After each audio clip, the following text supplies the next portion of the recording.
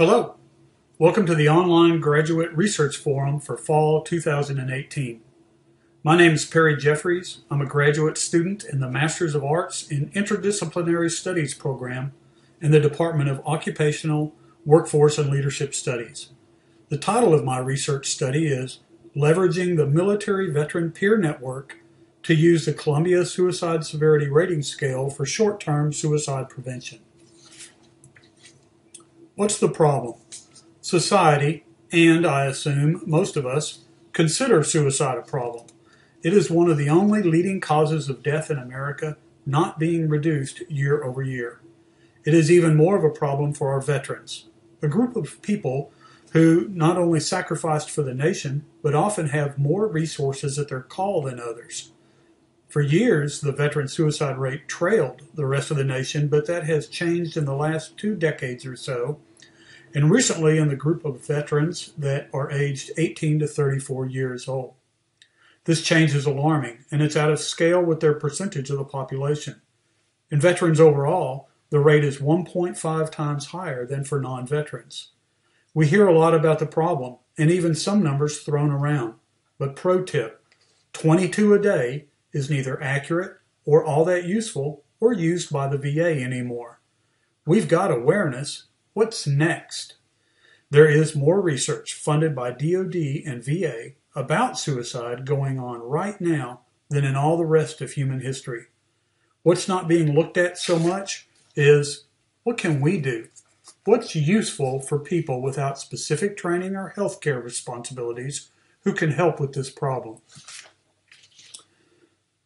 The purpose of this study was to determine if providing a peer volunteer force, peers meaning other veterans, with an evidence based tool to identify suicidality and including some specific directions about what to do then would be useful in identifying and preventing suicide, and how would that affect their volunteering? You can see a copy of the color-coded CSSRS instrument at left. Four research questions guided the study. Would this group of peers be able to understand the tool we provided them? The Columbia Suicide Severity Rating Scale. It's a well-documented questionnaire to identify a person at risk. Would they use it when indicated? Would they do what it said? And would this knowledge or practice make it more likely they'd stay engaged as volunteers? To get a look at the issue and to identify areas for later research, I chose phenomenology, the study of the volunteers' own percep- perceptions and descriptions of what they experienced or perceived. I studied this by conducting semi structured interviews recorded around the state with the Military Veteran Peer Network, or MVPN. And this is a statewide network with hundreds of active volunteers of more than a thousand trained in peer support. They are anchored around a few full-time organizers that connect with veterans, that connect veterans with resources at the local level, recruit and organize the volunteers. Most are military veterans or family members, and this group serves as an example to other states without there being a lot of documentation about them. Working with the MVP MVPN leadership, we provided training on CSSRS and spent about a year familiarizing the volunteers and their coordinators with it.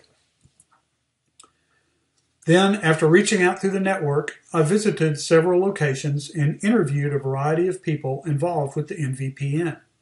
I tried to interview as diverse a group as possible, and I was generally successful. I spoke with men and women from 25 to 79 years of age in locations from San Antonio to Denton, including people that deployed to Vietnam, Iraq, Afghanistan, or had children or spouses who deployed. Some of the people I spoke to had attempted suicide, and at least one was a professional who used the tool both in professional and volunteer work. After transcribing the interviews, I used NVivo software to help me with the thematic coding and identifying trends or issues. I looked at these themes in general and compared them against the demographics I'd collected. For the most part, there was no revelatory information in this comparison, except in one area. What did we find? Some things I learned are more training is needed to get volunteers to comply. For a variety of reasons, people often hesitated to immediately alert emergency services when the CSSRS said to. The reasons were different. Some felt that a trip to the emergency room would induce economic hardship. Some felt that they should ask more questions or dig deeper first, minimizing risk. The CSSRS is clear on what to do, but not all the peers were resolute. And this is in line with some other research about the way people minimize perceived risk. Younger people had trouble sticking to the order of questions. This was the only category or issue that seemed to align with any demographic. To some degree, younger people had problems keeping the person on track with the questions. Often the person they wanted to ask the CSSRS questions of would just blurt out something that pushed them into the red indicators. At least one person said they would want to memorize the questions, and I thought that was a good idea. Having the tool was a good way of engaging volunteers. This was one of my hypotheses, and to a person, they agreed that having a tool and even occasional training like this made them feel more connected to the network and more likely to stay engaged. They almost all asked for the clipboards and cards I had with me that had the CSSRS printed on them. And these requests continued even last week. So for the future, I'd assumed that extensive training videos and ease of use of the CSSRS, combined with the color-coded scale, would make it straightforward that people would follow the instructions. I learned this was not always the case and for some unexpected reasons. The study was limited in how many people from MVPN I spoke with, and it would be good to see a larger study completed to see if different kinds of training work better. Does an in person training need to happen? Should the videos that Columbia produces now be changed?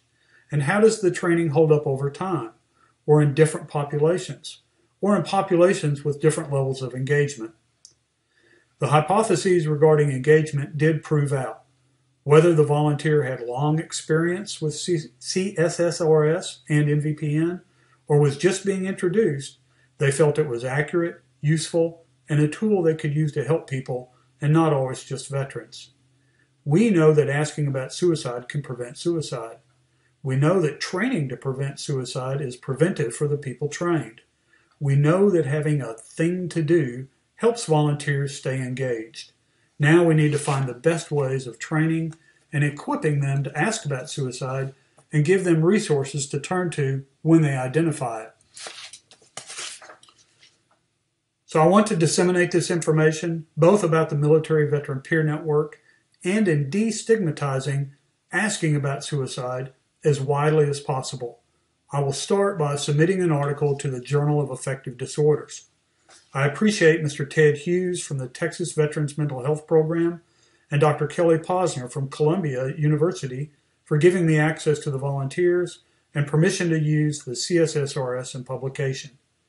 Anyone can visit the Columbia Lighthouse website, download a copy of the CSSRS, and start saving lives today. So please, hit the like button on the page below or the dislike to indicate your anonymous preference for this study by clicking on one of the two icons.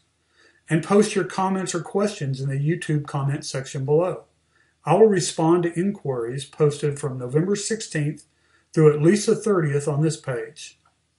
Thank you.